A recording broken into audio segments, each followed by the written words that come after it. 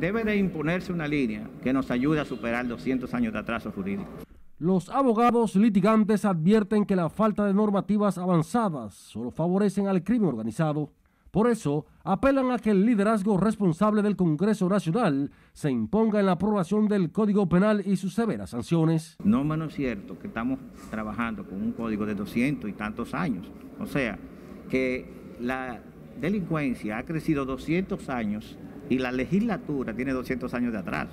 Entonces hay que dar un primer paso.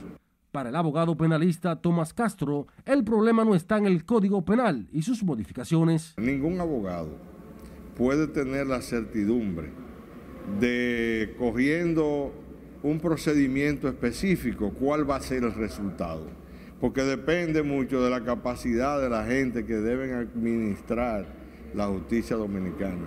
Aquí lo que más hay es locos con, con funciones de jueces y fiscales que no saben en lo absoluto lo que tienen que hacer.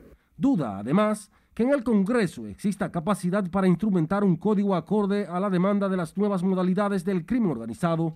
Pero ellos siguen bloqueando porque la mayoría son legisladores y, y, los que son abogados, supuestamente abogados, en su vida se han puesto una toga. Ellos no saben en la aplicación de ese código las deficiencias que puede o no haber, porque no han ejercido nunca, no, no son abogados. Sin embargo, estos abogados penalistas consideran que sin voluntad política no habrá código penal.